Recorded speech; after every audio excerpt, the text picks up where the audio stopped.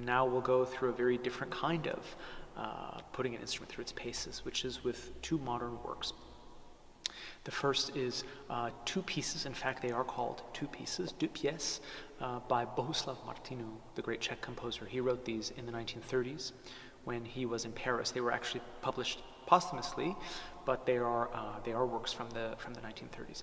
And um, uh, of course, I have a special relationship to Martinu's music because, of course, I live here, and and and Martinu uh, very much embodies, if you like, um, the, the, the ambition and the dream of Czech music since the time of Smetana to be a truly European and um, and cosmopolitan uh, music. So not merely a national music.